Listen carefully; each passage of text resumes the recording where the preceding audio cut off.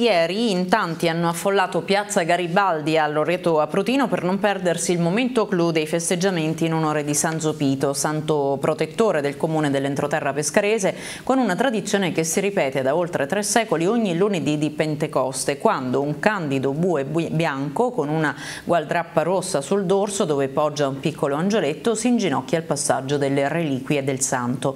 Le celebrazioni per San Zopito a Loreto Aprutino affondano le radici nel lontano 1700 1911, quando le spoglie del santo vennero traslate in paese con una solenne processione. Tutto il popolo si inginocchiò al passaggio delle reliquie, tranne un contadino che continuò a lavorare, mentre il suo bue si prostrò al passaggio del santo, dando il via a una tradizione che ha portato la cittadina vestina ad essere conosciuta in tutto il mondo. L'evento religioso è cresciuto di anno in anno con un coinvolgimento sempre maggiore anche dei giovani loretesi che partecipano ai preparativi della festa che iniziano un mese prima prima dell'evento.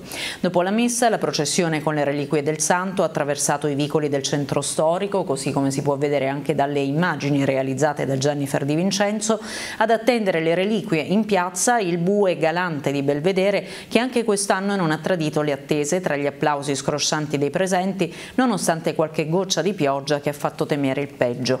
Tanti, anche gli appassionati di fotografia, alla ricerca del click più bello. La giornata si è aperta nel pomeriggio con la premiazione premiazione del concorso per ragazzi Te lo dico con un disegno. Riccardo Orlando, il più votato per la scuola dell'infanzia, Giacomo Di Zio, Davide Mottini e Christopher Casalena Pennese, i primi tre classificati dell'Istituto Comprensivo. Spazio anche all'inclusione sociale. Infatti il servizio di supporto alla folla è stato affidato ai ragazzi della Casa nel Sole, Associazione Arcadia Onlus, a chiudere i festeggiamenti dell'edizione 2024 dopo i fuochi pirotecnici il concerto della cantante Fiordaliso.